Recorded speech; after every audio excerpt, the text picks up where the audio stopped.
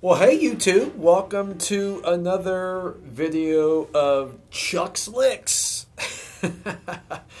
um, okay, all right, no, that's, that's pretty silly, but uh, anyway, uh, so I got a new one for you. Um, this is an idea that um, that's relatively recent to my kind of bag of tricks, but it's one I really like. Um, uh, I would say out of the um, busier rhythms. I, I, definitely love triplets in general. I just whether eighth note, sixteenth note. I just I love triplets. Um, so this is one that I uh, I really like to play, uh, and it's um, it's fairly easy.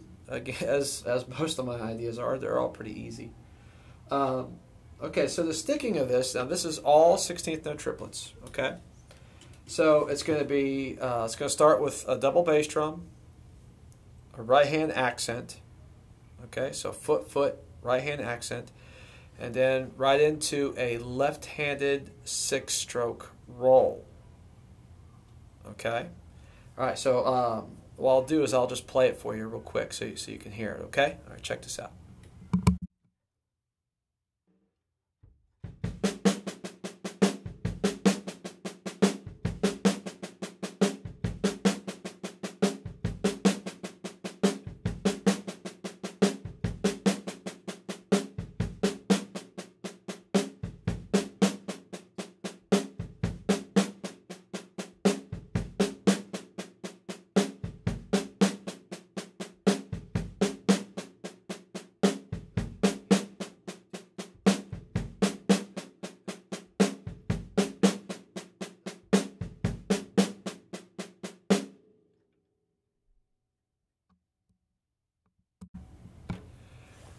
Okay, so that's the pattern. Um, so I, I'd maybe start with that first if, if you feel like you need to. Um, but to turn it into a one measure fill, the way this is going to work is you'll play that pattern twice. Okay?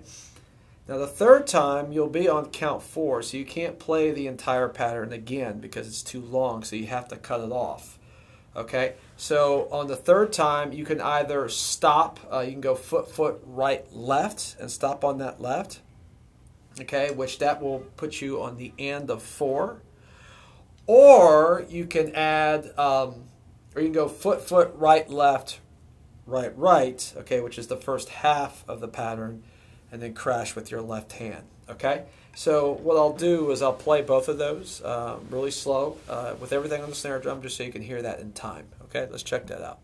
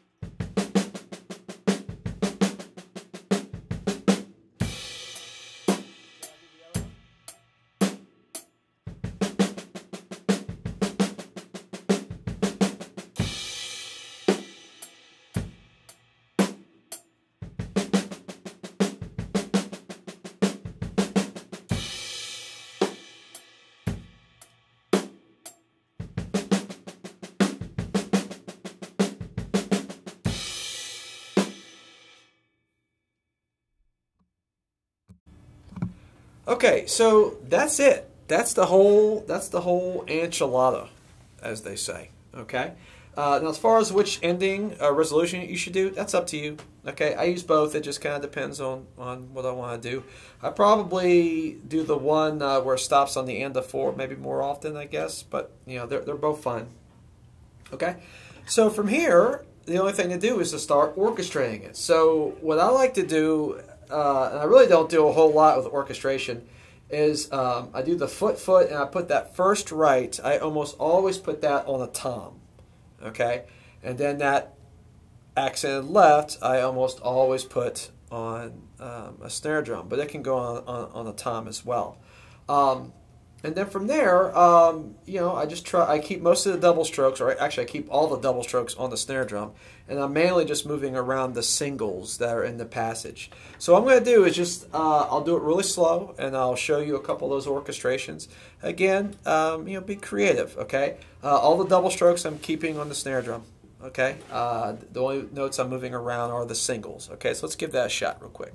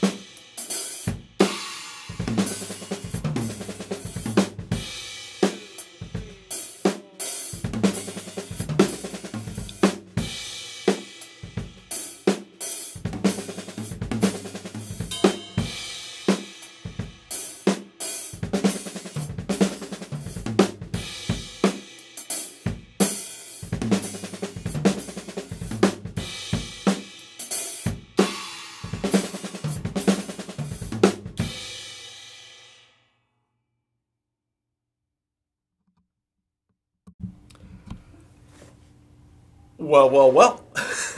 that's that's all there is to it. Real simple. Okay. So uh, again, I'm only moving the single strokes around the drum. So there's you know only so many options I guess you can do there.